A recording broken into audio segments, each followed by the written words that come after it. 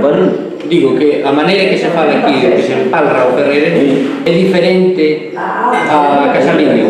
Sí, é un poquinho máis o, o de Casaliño fala un pouco máis o portugués, é tan máis teñen un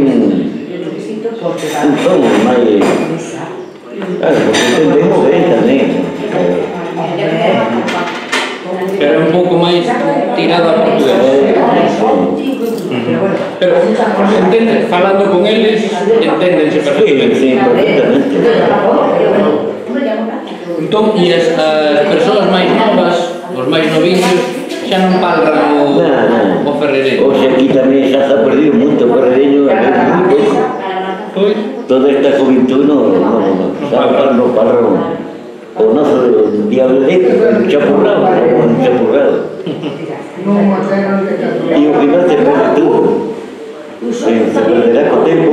Cuando non morremos todos, por exemplo, no, da miña idade, a juventud non xa nada, a juventud é todo.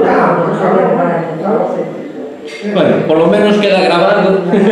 ¿Qué?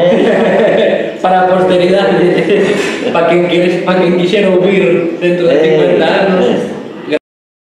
Ven con, con os portugueses. Eh, falo un poquitinho.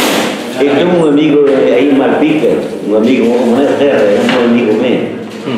E, Manava Coutinho, vendia pão, era um, um amigo muito bom. Já morreu.